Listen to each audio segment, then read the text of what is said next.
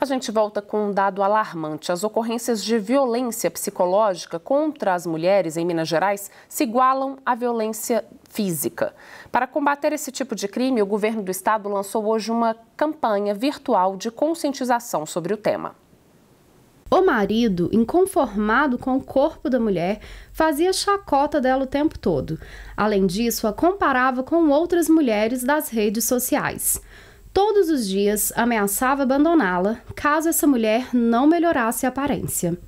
Em tom de brincadeira, dizia sempre que era fácil arrumar uma mulher mais bonita, quem sabe até mesmo a vizinha. Como acontecia todos os dias, a mulher se sentia culpada e pensava ter que se cuidar mais. Com o tempo e com as humilhações, ela adoeceu, passou a tomar remédios contra a depressão, mas as humilhações continuavam e, com o passar dos dias, pioravam. De descuidada, ela passou a ser chamada de louca, histérica e por muitas vezes ameaçada.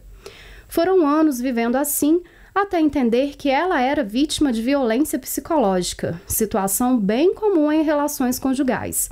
Essa história pode até ser fictícia, mas acontece diariamente com milhares de mulheres como explica a delegada da Divisão Especializada em Atendimento à Mulher, Danúbia Soares Quadros. Quando o agressor é um namorado ou marido, o bombardeio de abuso acontece junto com gestos de afeição. Então tudo fica muito confuso para a mulher que está passando por uma situação como essa. É difícil dessa mulher identificar que está vivendo uma violência psicológica, que inclusive agora é crime. Então é importante que essa mulher denuncie desde a primeira violência, ainda que seja uma violência psicológica. Até o dia 10 de dezembro deste ano, um levantamento da Polícia Civil indicava que entre as mais de 140 mil mulheres vítimas de violência em todo o estado, neste ano 38,1% sofreram violência psicológica e 38,2% violência física.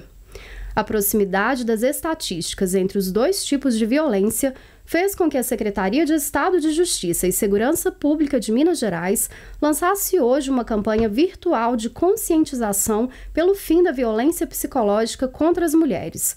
Com o tema Nós Vemos a Violência que Ninguém Vê, a ação contará com divulgação ativa nas redes sociais e busca alertar para as características desse tipo de crime, além das possíveis consequências, tanto para a mulher quanto para o agressor.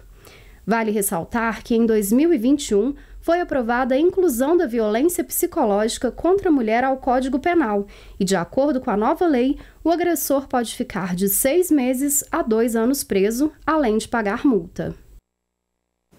E você pode denunciar qualquer tipo de violência contra a mulher no 181. Para algumas ocorrências, é possível realizar o registro de denúncia por meio da delegacia virtual, sem a necessidade de comparecimento da mulher a uma unidade física da Polícia Civil.